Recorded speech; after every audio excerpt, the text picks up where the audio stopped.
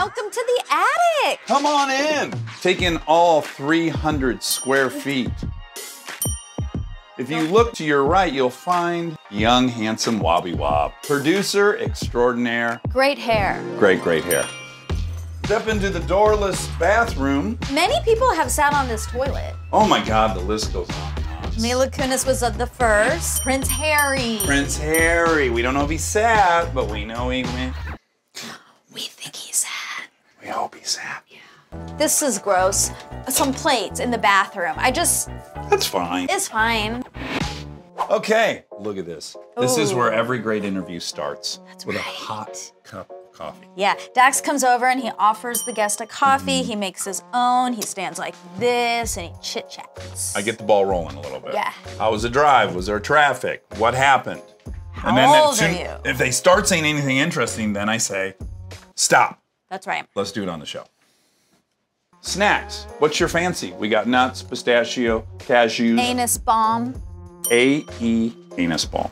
I don't know who's who else has got that in the podcast game. I doubt many. Here, of course, is the main stage for our guests.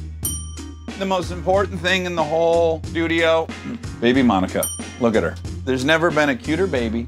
This is the best part. The fact that her tongue is curved like that. I don't even think I can do that anymore. No one can dish their tongue like that. Here's the famous um, meme survey that was taken about me. It's final. 72% said, no way, Jose, not a chance. Now, this desk doesn't serve a purpose other than to hold my many coffees. You made it. oh, I did make this. I made this. Okay, this is probably Iconic. yeah, Will Ferrell could almost not do the interview because he was so distracted by this beautiful hound. He's big and he's inviting. So um, this is a first ever, a peek into Black Mold Paradise. The rock trains at Iron Paradise and Megalith trains.